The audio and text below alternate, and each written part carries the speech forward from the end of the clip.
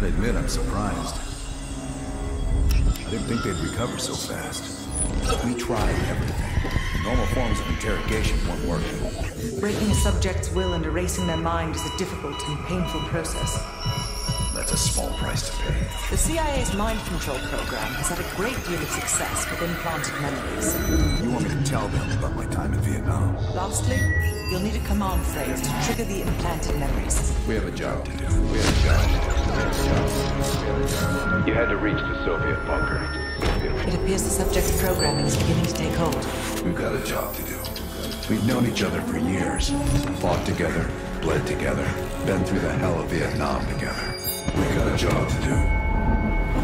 And now the training's complete. We just need to give the subject a name.